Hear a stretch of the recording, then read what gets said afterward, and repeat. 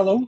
Um, hi, my name is Igor, and today I'm going to talk about uh, the KYC orchestration and how to implement it. Um, we will discuss uh, how the KYC or KYB process usually works, what are the tricks that we learned from our past experience, and then I will sh show the short demo of uh, usage of one of the KYC provider.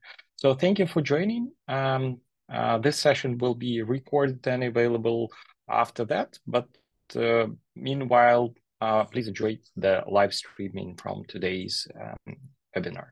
So a little bit about me. My name is uh, Igor, and I'm CEO of DashDevs. Um, we do quite a lot of um, functionality and software engineering in um, uh, fintech, but also we are helping fintech companies and fintech projects to shape up and then go into the production mode. Um, we've been doing this for quite a lot of time, uh, 15 years of experience. We've been developing applications, backend. Uh, we have different cases in United States, in United Kingdom. We've been active in MENA region. But today we'll talk about quite generic process, which can be referenced to um, quite a lot of jurisdictions. Uh, we also launched uh, and helped to launch uh, more than 20 products on different markets. Um, that's starting with the simplest uh, processes and simplest uh, products, uh, which are integrated through the fintech processes, for instance, integrations with open banking, KYCs, and so on and so forth. Uh, usually our um, um, if we're talking about like banking solutions our banking solution takes about nine months uh, from um, from scratch or from using white label solution to the market uh, we've been engaging with the financial institutions in different regions um, companies like NatWest, um, aspiration partners in United States, uh, Reg Bank. Uh, so we have uh, quite impressive portfolio from us, and um, we have a deep knowledge of integrating and working uh, with the vendors across the market. Some of them we're using, some of them using our services for outsourcing and product development. Today, I will share the information about the KYC and agenda is the next for 15 minutes, uh, I will talk about the KYC processes and um, I will show the demo of usage of Onfido uh, configuration. I will do the overview uh, for the main logic or main objects uh, in processes in KYC. Uh, I will talk about orchestration. I will uh, show how the what is the difference between collecting information, documents, liveness check, and uh, we will talk about edge cases and small tricks. And I will give short information about our FinTech Core product, and then you will have 10 minutes for the questions if you have any.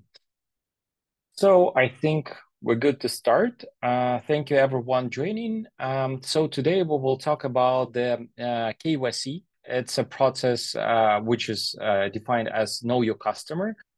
That's process for financial institution to comply with the regulatory requirements. Uh, it, usually it's several levels uh, on the legal side to make sure that the compliance process is properly set up. Uh, it depends on the uh, licensing process and license of your institution, but uh, we've seen this process quite um, useful even for non-fintech companies for instance, we've been working with an online uh, sport platform, which is doing the KYC for the kids who are playing uh, the sport game and their parents.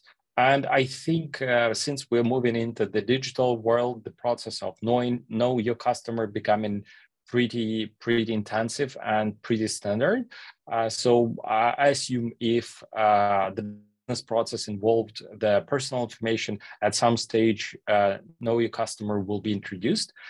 And it's not uh, only connected to the knowing who is uh, participating or using your system. It's also on financial risk side and financial crimes because uh, nowadays um, acting as someone in internet uh, might be an issue. And uh, as we know, there is a dark web where, where you can find a lot of um, data, even the documents.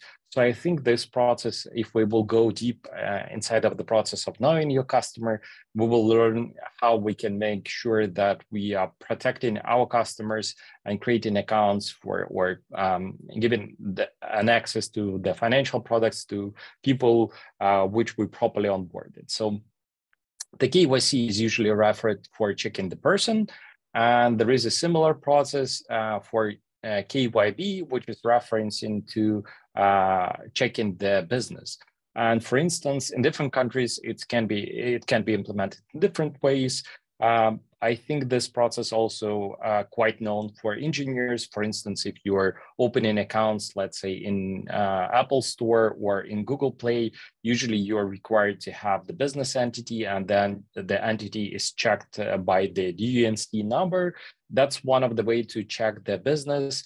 Uh, for instance, in the United Kingdom, there is a very nice government portal which is providing the information about the companies. There are references that can be used. So this process is specific by the country, but once again, it's similar to the KYC. It gives an ability to uh, find out what is the company. It doesn't give an access to financial information or any private, but usually it's the way to identify the corporate clients, uh, vendors, partners, and we see that in many system, not only fintechs, this process once again become quite popular. Uh, and uh, I assume that a lot of, uh, of you has been um, dealing with the different payment institution. And even if you're trying to open an account with the Stripe for uh, acquiring the funds, you are usually going through the same process. You are providing the document uh, documents from the corporate information, and then it's KYC. And after the successful approval, you are getting an access to the certain parts of the system. So KYC KYB is similar to KYC, but only stands for the companies. Another definition, which is uh, quite uh, quite popular nowadays, is anti-money laundering. It's a set of the laws and regulations and procedures which actually aim to detect and report activities uh, which are legally obtained money or assets. Uh, once again, nowadays it's uh, quite important because there are quite a lot of fiat and non-fiat systems. By fiat, we mean regular institution, regular ways to deal with the assets and money. And uh, as we know, there is a crypto world which is uh, designed by default to uh, to hide the identity and to not introduce any AML functionality. But we see that the crypto world is merging with um, fiat systems. And in those cases, the AML is have involved, KYCs have involved. So uh, we see that the process today is it, processes between two systems and two worlds are becoming more and more integrated. And those processes as KYC AML definitely there. And uh, if you have an experience using Binance or any of the systems, you will know that all those uh, rules and checks are applied and also there. So AML is something that you're checking not the person, but you're checking the funds and transactions. Uh, usually AML is involved also on the step of steps of creating accounts and checking the person, because as the first step, you're usually checking the customer for a uh, specific type of the information, but then using this information, AML checks also performed. Another critical uh, item which is important nowadays is sanction list and sanction screening. screening. So that's a process of finding out that the person, if you already know who is it, uh, and then you are checking the data against uh, the sanctions database. Uh, depending on jurisdictions, you might follow different lists. Uh, in different jurisdictions, you can download and uh, keep the knowledge yourself. If you are, for instance, implementing, uh, you can not you you can usually go to the primary source of information and extract yourself and use it. But it, that's this step is important nowadays. As you see russia right now is um, doing full scale invasion to ukraine and lots of lots of entities and personal per, um, people are actually in uh, sanctioned lists. And uh, if you're operating in regulated regions, you have to check uh, those sanctions and make sure that people on those lists, they are not getting uh, the financial or other types of the services from your product. So I would say that sanctions screening is really important and you should follow to make sure that you're compliant with the licenses and in your jurisdictions. Another important process, uh, sanctions impacts and involve freezing uh, financial and cash resources, admit, uh, admittance and restrictions on the specific individuals, um, also restrictions on trade, prohibition on providing certain activities to particular nations. So it's important to know that it's different process from uh, the KYC or the anti-money laundering. Uh, screening is the way to identify and also sanction screening is actually is working not only for your customers but also if you're involved in a moving transfer uh, moving funds uh, you need to check not only the customers of your system but the destination of the funds and services. Because uh, in this case uh, you obliged to check the beneficiary information. And if um, information is not enough, you have to pause the transactions and do additional checks, ask for additional information to be compliant with those uh, watch list and sanctions lists.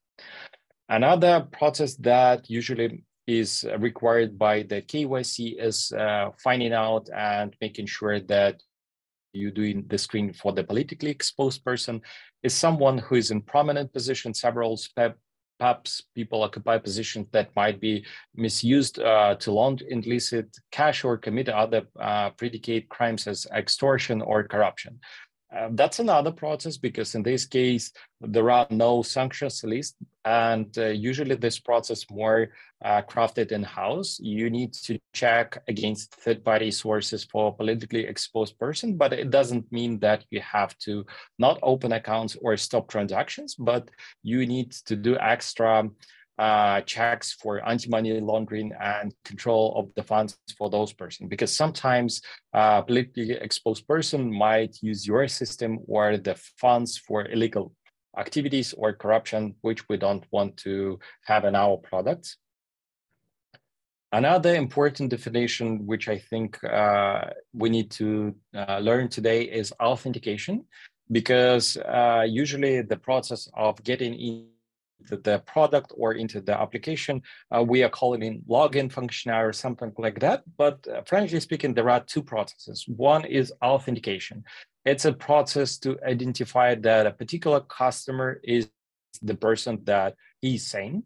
And it helps a lot to understand the KYC process because one of the steps that we really would like to uh, understand that if someone is creating an account in your system and providing the documents, we would like to find out is this particular person is uh, the person that he's submitting to you as collected profile data and the documents. And it's it's really important because i've seen the system designed they technically correct they operating and i don't think that they have issues with the compliance from the regulations but they misusing or misdesign the process of authenticating because they getting the information from the customers, but they're not checking that this customer is the same person as the documents has been provided. And uh, one of the case, uh, it's a funny one. Uh, there is a hardware um, company which uh, developed the product laptop, which is using face authentication. And instead of using 3D uh, measurements of the face ID, they were running the checks against the photo, which means I can take the photo from another person open his laptop, show the, uh, the photo of this person to the laptop, and the laptop will unblock or uh, will log in as this person. And that's a really good example of the authentication done wrong, because in this case, we did, we provided the access to the system, but we didn't authenticate the person because we didn't check that this particular person is someone who is he saying, because I basically can show third party person photo. And that's why you should keep in mind before doing the KYC, we need to create an account and then actually by providing, by getting the information from the customer, match it and authenticate the person. That means that we know that if Igor is providing the information, that's the same Igor. And that's uh, the definition of this is authentication. And then authorization, that's another process, which is finding out what are the permissions for the particular person because if let's say I'm creating an account in banking system uh, before I've provided uh, the required type of information then run through the KYC process, you actually need to not give me an access to certain functionality of the application. And once again, I've seen on the market the products which are not really uh, understanding those definitions and the implications that they actually give to the products. Uh, one of the fintech products that I've seen, they've been collecting the information from the customers as the phone number and email. And by getting those information, they were generating the prepaid debit cards with a specific amount and ability to top up, but they didn't check uh, the uh, authentication. That's one. And they didn't properly run the KYC process, which means they didn't provide, they didn't check for the uh, location, for sanctions list, for PEPs, which means someone can use the system in fraudulent way. Uh, they can top up an account or use those accounts for uh, frauding other people asking for sending the funds there, saying that the another person or even uh, the fraud tricks that I've seen quite a lot in UK. Uh, the uh, guys are calling to older people and saying that they have tax issues and they can avoid those issues if they will pay immediately. They providing accounting information, account information for sending the funds, and those funds are actually sent to the third parties and then uh, they move in and to doing anti-money laundering through the several institutions and getting those money away. And this is happening because the account is not checking that the funds are actually sent to the particular person and the authorization and authentication wasn't done in the right way. So it's pretty, critic, pretty critical to differentiate those two types of processes and make sure that the system is designed in the right way. So um, maybe it's for later, like uh, digging into the information, but from my experience, it's really important. And let's move on to the next slide. Uh, the key for the successful products nowadays, I would say, is a liveness check. Uh, uh, if you're using uh, more than neobanks, you might notice that like a five years ago, it was okay to, while opening an account, you will provide your information like first name, last name, date of birthday, and then the documents. But nowadays, uh, you can see that if you're having an ability to open an account online, usually the liveness check is happening, which means you can see yourself. Uh, there is a video which is recorded, and uh, on those video, usually you are asked to move your head or to say specific phrase. And that's quite deliberate process because in this case, we can check that the person who is providing the documents then talking on the video on do, or doing specific actions is the same person. It's matching and it's called liveness check.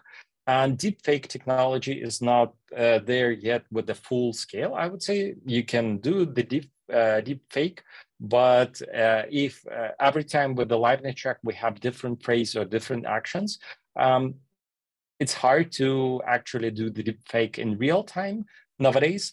And the system is still able to find out that someone who doesn't have the documents or using third-party documents can be caught because the uh, the we can match the face on the video and we can match the face on the documents and make sure that it's the same person with a certain level uh, and a certain percentage, but it still works. And I think it's quite essential nowadays because more and more services are providing the onboarding processes online. And once again, by omitting this process, we might find our product in situation when we give it an ability to onboard third parties and open an account on someone else's behalf, uh, which is not something that we want. There are quite a lot of uh, KYC, KYB vendors. Uh, you can take a look. Uh, there are quite a lot of names they specific for the regions. As a company, we have an experience working with quite a lot of them. Uh, for instance, we've been working for years with um, Jumio, with the Onfido and Veriff. In some cases, we even providing our services for their development, but today we will focus more on the business logic and steps uh, for successful implementation. And um, uh, I would say uh, it doesn't matter which KYC vendor you're using, it's quite important to understand what you're collecting and what for. So usually for uh, successfully author authenticating the person, uh, first step is to collect the really basic information. Uh, that's um, that's first name, last name, which is really important, date of birthday and nationality, because uh, because sometimes you cannot actually understand if you have two different persons with the same first name with the uh, same last name what is the difference? And usually for checking against database at least you need the date of the birthday but it's also good to have nationality. In a lot of countries you also have the middle name. It's important but the, in this case it's become harder. So let's for this case say that minimum requirements are those four fields usually they picked up manually by the from the customer. Uh, sometimes you can read them from the documents, but if you would like to match this information, it's done manually. Or uh, as we've been doing for several years, we're using third-party OCRs from read to read this information from the documents, provide to the customer UI for the correction and manual edits, and then match with the document that has been provided. So uh, the next step is actually to do different kind of checks. The first one is uh, identity verification. So as I said, by getting the information from the potential customer, you have the first name, have the last name, but you do the match with the documents, and that's called identity verification. Uh, after that, we uh, check that the let's say Igor is Igor, at least that's uh, what, something that we can find out by the data collected and the document. Then we can do the liveness check and record those uh, live videos to understand that the person who provided the documents is the same person. Another step, which is I think really important, is risk assessment. Even if your system um, is is not designed for the risk assessment for the credits or other kind, kind of functionality. Nowadays, it's important. Uh, in some cases, uh, we've been doing the checks against additional databases. We've been doing checks against fraud databases like CIFAS in UK. Also, we've been checking the persons for the voting database in UK for limiting the uh, type of the customer because legally we are not obliged in certain process or projects to limit the customers within the specific region or the country or the nationality. But usually it should be in your compliance model. Are you willing to take additional risk? How you're calculating those weights? And depending on those weights, is it acceptable for you to open an account for, let's say, with a specific level of risk of the customer? As I said, PEP checks and sanction checks. And usually this process uh, is pretty um, heavy in terms of the business logic because before implementation, it's required to go down quite deep with the logic, write it down, make sure that this logic is leading to the results that you're expecting, that there is no loopholes or the uh, the blocked status that customer cannot uh, avoid or go through because we've been seeing products in production in which you can actually combine your data and the documents the way that you're kind of stuck in certain situation and you cannot restart your process because you already authenticated with the specific phone number or email. And the only way to get out is to recreate another account which is once again uh, the issue for your system because as as you know the checks are paid and usually they pay per transaction, which means if you're checking against the APIs with the third parties, each check will cost you money. And once again, it's in your business model. So in correct way, designing the system for the checks is essential because it's leading to more development hours, more issues for the support, and more money because of the cost of the system. Uh, usually, and that's what I think uh, nowadays is a little bit different from the market. If you take a look on the websites of the, sorry, just a second. If you're if you are taking a look on the suggested way how the system should be implemented from the third parties, they actually suggesting to integrate their SDKs or their products directly into your platform. Uh, it means that the data collection and documents collection is happening on their behalf in your applications and directly go into their system. Uh, my point of view is a little bit different because I usually suggest to do the data collection and documents collection uh, within your tools and then store securely, which requires more um, development or more possibilities from for uh, from your products, but it gives you really additional perks because in this case you can do the re KYC because you are controlling the data and you're uh, over you you are managing it, which means you can let's say day one use one KYC, but when you are moving your customers to another system where you would like to re KYC or do additional checks, you have all the required information. And in this case, you're really in control of the sequence of the checks because I would say nowadays it's quite important to have more than one um, uh, more than one KYC vendor. And that's really advantage because the suggestions from the market are different to use those uh, APIs or SDKs directly in your applications or your client facing um, uh, applications. So uh, and then after collecting the data, collecting the documents or the videos, storing them securely, you should have process for dispatching the KYC checks. And um, uh, as any integration, it should have in the design the system that allows you a to restart the checks because in some cases, uh, let's say the documents might have a glare and uh, you will need to re-ask uh, for the information from the customer, or the system, for some reasons, can be unavailable on the vendor side. And in this case, failing with the correct information, you will give a decline to the customer, which is not really nice. And uh, properly design the system is really important. We will talk a little bit more about that. And after that, you would like to have a system which is getting results because usually KYC vendors, they can approve your customer, but it's more importantly, I think for you to extract all available information about the checks, store it in your system and do the decision making on your side, because in this case, you will be more in control by altering the checks, by altering the results, uh, by creating more sophisticated and more flexible system, which is adapted to your customers. Because if you're using KYC uh, decision making, it might not fit into your all cases. So having something as a step five on your side helps a lot.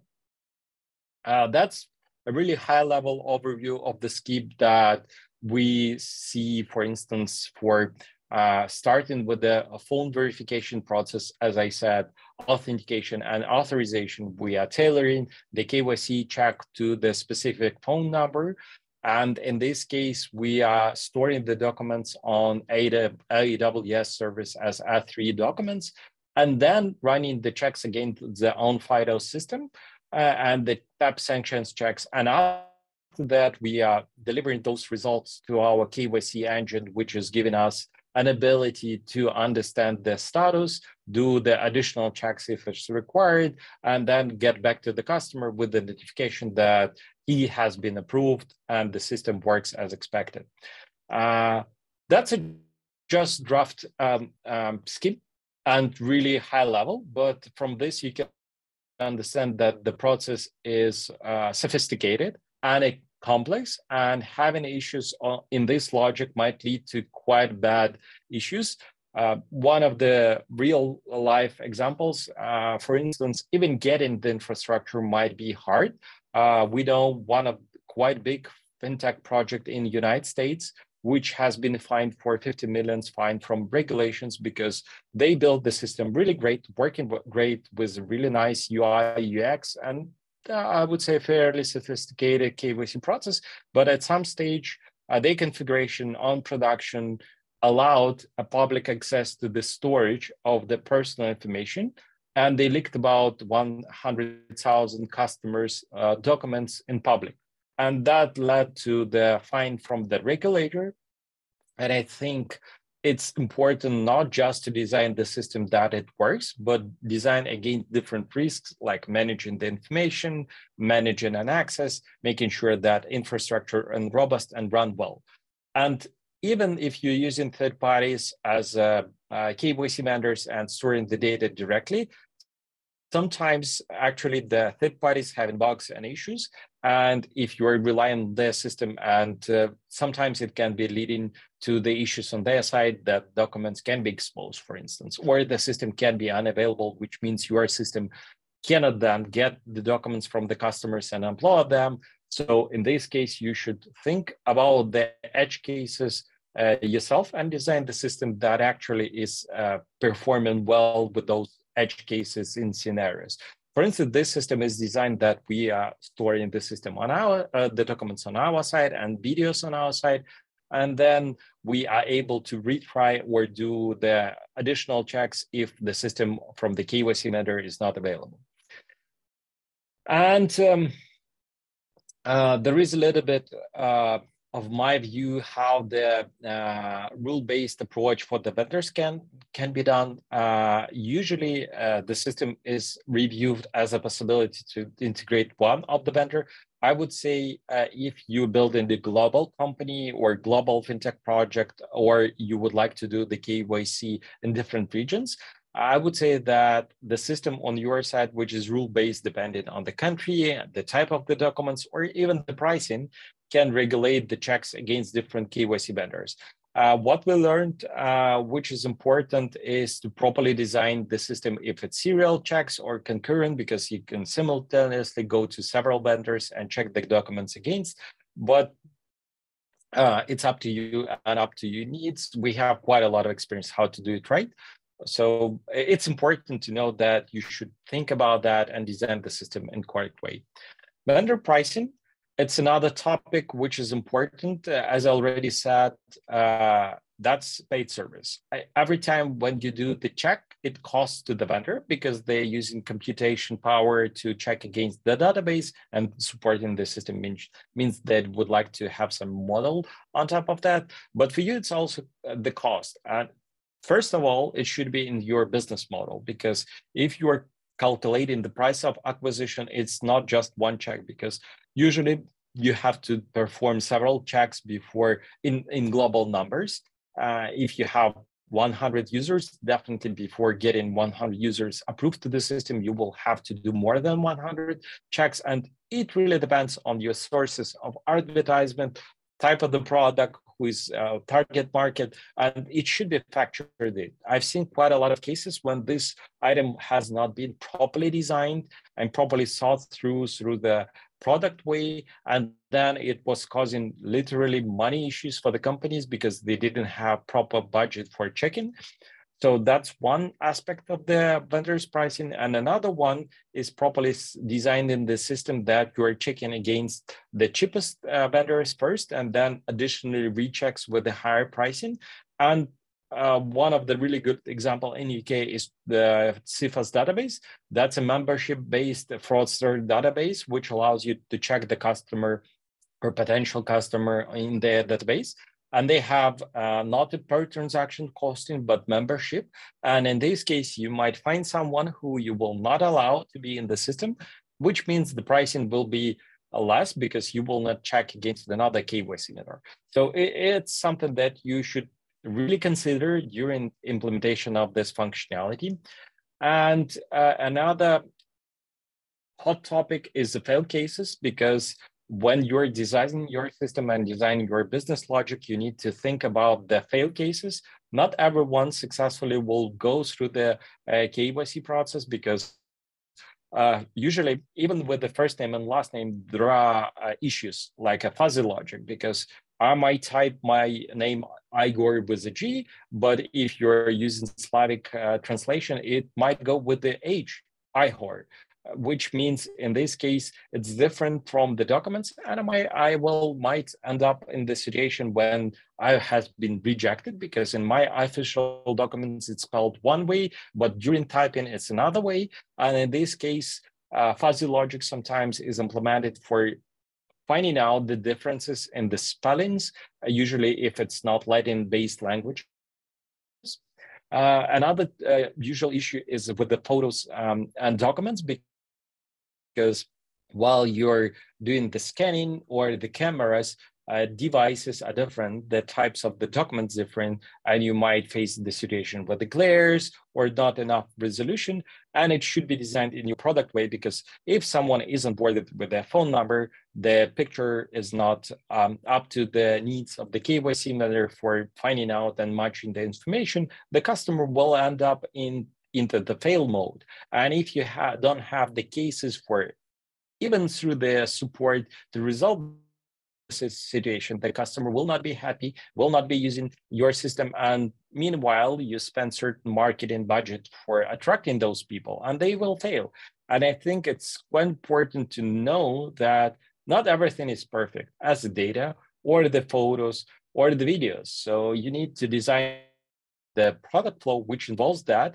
And if as early you can detect those issues, you can actually uh, cost bring the cost down. Uh, for instance, in our projects, usually we're using additional OCR for creating and making sure that the photos that we are taking in proper quality, and after that, upload into the KYC, which allows us to re-ask for the photo and ask to retake because the light is not enough or the quality of the photo somehow is not something that we expected. But once again, it's a blade two-way road asking too much means you will cut the numbers of the customers and having more customers but having more issues you will get the cost in more than you might expect or put into your business model.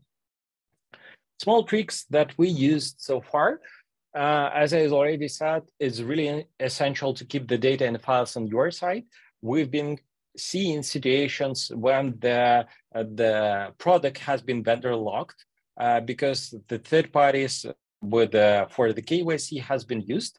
And uh, in this case, not all the vendors are given an ability to export all the data. All the export might be even implemented manually. So you need to go to each customer, download the report of files, and then somehow match them through the system. So what we suggest is to design the way and architecture that you're owning and keeping the data from your customers first on your side, and then using integration with the vendors. Another trick that I already talked uh, is prepare and verify the data by making sure that you're at least OCRing and reading the information, doing some previous rechecks between the data collected from the customer is matching. And um, another one is properly design the checks uh, through the vendors that you start them with the low price checks first and then doing more sophisticated logic and checks. I hope it will help you to structure your system. Um, uh, you will have an ability to ask questions if you have any. And um, right now, uh, I, okay, it's not the last slide yet, so let's go a little bit more. Um, as a company, we've been dealing with the KYC quite a lot, and that's a part of our FinTech core product. Uh, we are proposing a source-based white label solution. It can be cloud or source-based with the different models, and the second model that we actually think is important for the customers is KYC and AML orchestration. So we have an engine which is helping you to collect the data from potential customers, store it securely on your end, and then run the checks against the third-party databases and vendors. And in this case, you will not have to develop it yourself. You can use our product, which is ready to use and helps you to run more effectively. And um, uh, Today, I will show a short demo of the potential process of the KYC, and we'll talk what is the difference uh, in different scenarios. So today I will show, uh, just a sec, I will switch off my camera and I will show them uh, functionality from Onfido by designing the workflows and then doing the KYC check on my documents. It will not be live check, but it at least it will give you an ability to understand how it's potentially working. So you should see a screen right now with the Onfido uh, back office. Uh, usually, as uh, you have an access to a KYC vendor, you have two types of the access. That's API based for the engineers and integration, and the back office, which allows you to configure the product and um, see the checks results. Today, I will show two parts, the studio, which allows you to design the um, uh, KYC processes. Uh, all the vendors are becoming more and more technical. So let's do the KYC demo uh, workflow. And um, uh, if you're creating those workflows, you can create different versions of the checks. Uh, it's some kind of repository, and um, uh, the Onfido is giving really nice way for selecting workflows from templates. Uh, let's say you're in different regions, and for those regions, you have the preset functionality, let's say with the simple one, simple documents in Selfie workflow, which allows you to not record the live video, but ask for the documents and selfie and that's, then match it. Uh, they have really nice split for them different um, uh, industries like a financial services. In this case, you can uh, check for the core verification with the watch list for the biometric workflow and the, the sanctioned list additional checks, or uh, really important workflow for doing the re-authentication because sometimes people can lost uh, the access to the authenticated application. For instance, if you use neobank, you might damage your phone, and then we need to onboard the customer or authenticate the customer on your device by just simply giving an ability to uh, get an SMS or a second factor authentication to a new device, you might uh, use this backdoor or this logic to allow uh, fraudsters to uh, hijack the account. But usually if uh, an activity requires getting a new device authenticated, sometimes the real authentication is implemented, which means you're asking for additional documents that the customer has. And then by providing those documents and rechecking them with the existing customer information, you can re-authenticate a new application, even if the customer has lost an access to phone number or the device that, that has been used before. And there are different types of the checks, for instance, with the driver verification or in gaming uh, cases and so on and so forth. So uh, let's start with the simplest one. Uh, let's say we will check the simple document and selfie workflow. Um, it's uh, fairly simple and works uh, well for different uh, cases. And the workflow, we can zoom in. the workflow usually is really simple and straightforward as we talk through the slides. So you are starting with workflow with the profile data capture. At this step, you basically uh, check in what type of information you would like to get, country of the residence, first name, last name, date of birth, additional information. And then you're capturing the uh, photo uh, of the documents. And then you're capturing the face capture to make sure that you're uh, comparing the face similarity for the customer. And by getting the documents report and getting the similarity for the face uh, with this workflow with the conditions uh, which are defined here, uh, that the documents report is clear and the face similarity is clear, you can get the applicant approval. As, as I said, usually you would like to integrate through the API, which means you are getting those reports and you can use the third parties as, uh, in this case, to make the decision, or you can just extract the report and do additional checks on your side. Uh, so it, it's pretty convenient with those designers, but I would say still you should implement certain part of your logic because in this case, you will be over control over your business process and you will not be vendor locked. So I will show another um, uh, workflow which I created before and it's active. And actually it's simple one to show uh, how the profile data capture and documents capture is working. So we can uh, live preview on the web and it will generate the page that can actually be used for uh, running the live check. Uh, it's, let's say it's a web application. At some point of application, you will have the button to start um, KYC. And one of the examples that I've seen, and I've never uh, thought that I would see the KYC, it was buying the ski pass for my kid. And on the website, in this case, for granting an access for the discount for the kids ski pass, the, uh, the system was designed to do the KYC for the documents. It means that you're not relying on the customer for providing the correct answer that the key is eligible for the specific type of the key ski pass. You're basically asking for the information, then matching for the information that you got from the documents. And by that, you can find out the decision yourself. And it is pretty wise because in this case, third parties will not exploit the system by getting the type of this key pass, which is definitely cheaper, and you will not uh, get to the financial losses. So in this case, it's just a simple example. Let's say that we have Igor and my last name. Uh, in this case, uh, it's asking for the country of issuing. Uh, I'm the citizen of Ukraine.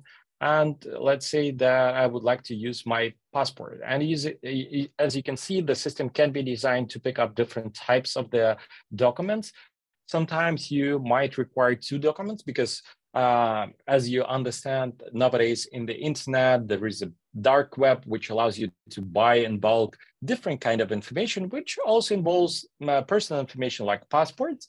And the systems which are designed to read two types of the documents are more robust against those uh, fraudsters, because in this case, usually you rarely find the data sets with the two type of the documents. Um, that's not the case for this demo, but you should know it. So usually the system on the web is once again should be designed the way that it can be continued on the phone or upload the photo. Uh, in this case, uh, it's a little bit strange to provide an ability to upload because the file can be customizable. But anyway, let's try this. Um, uh, I will pick, let's say, some kind of uh, screenshot, which is definitely not the photo and or the document and let's try see what uh, Onfido will do. And it says that the document is not detected. So in those third parties, if you're using their documents or their SDKs, they have certain really nice uh, functionality to detect this information. Usually, if you're implementing yourself from the scratch, it might be an extra mile for you to, for the implementation. But I think if we're comparing managing information and getting those items out of the box, I would say if you go in large scale, it's important to implement yourself. So let's say I'm checking the Quark document and I'm checking and I can see that the document has been successfully checked in live and which is more importantly, I can go to the results. Usually they're available also once again uh, through the APIs. And you can see, first check was waiting the input because I didn't provide the correct one, but the second one, which happened in live, has been approved. And there is information which is provided by the uh, uh, by the APIs. You can get uh, specific information for the applicant details and the status. It's really simple. Uh, and you can build more complex workflows and more complex process, but I assume that it gives you a really good sense of the capabilities and the items that you can should keep in focus. So let's go back to the slides. And in this case, thank you for watching the slides that I've prepared for today. Uh, if you have questions, you can ask them right now, or you can use the QR codes to book a call with me or email or connect on LinkedIn and then ask the questions. So guys, do not hesitate. You can unmute or type the questions into the chat.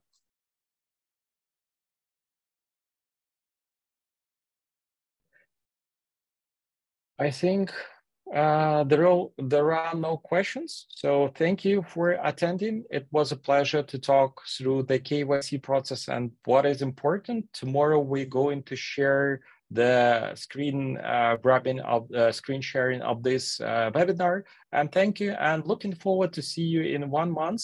We're going to cover another topic, which is helping you to improve your skills and knowledge in the fintech space area. Thank you guys. Have a great day. Bye.